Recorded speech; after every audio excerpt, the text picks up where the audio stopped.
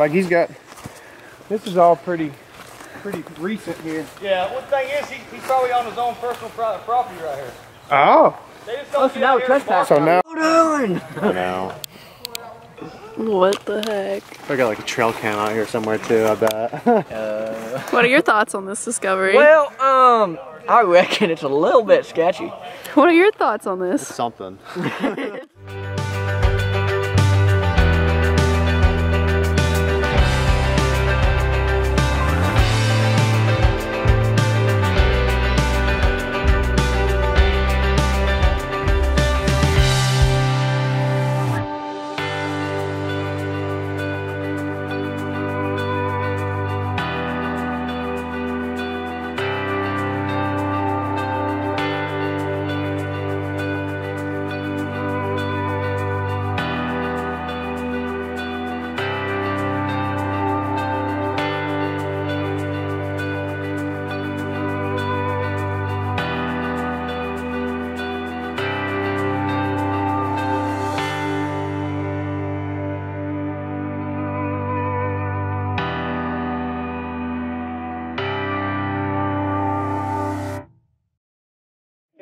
I think I just go for all for nothing. hang out here for a second. yeah, yeah. Acclimate a little. Give it a moment to Late for a second.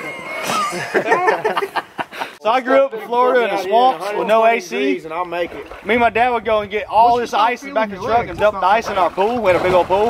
We'd jump in the pool at night. Full commitment! We, we have no air conditioning in the swamp. Get your winch rope out and just, it's got a weight on the end of it, just toss it down the water. Now mind oh, you, I got I know you can't hear me. Walk out the edge make sure it's nice and deep though. The rock is warmer than I am.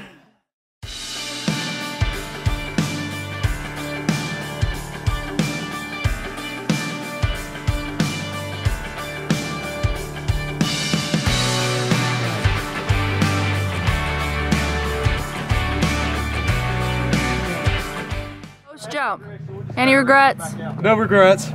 Full send. I'm cold. Same. Alright, so we stopped for a swim break and then ended up stopping for like super long break. I know the camera's gonna be super shaky right now. But we're on the move again. We're heading to the cave where we're also gonna be camping tonight. Super excited. We'll update y'all when we get there and show you some cool clips in between.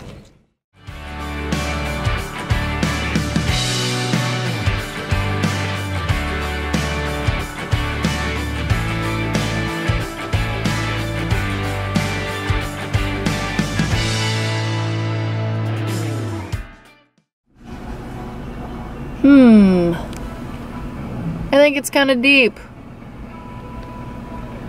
Sounds like bypass time.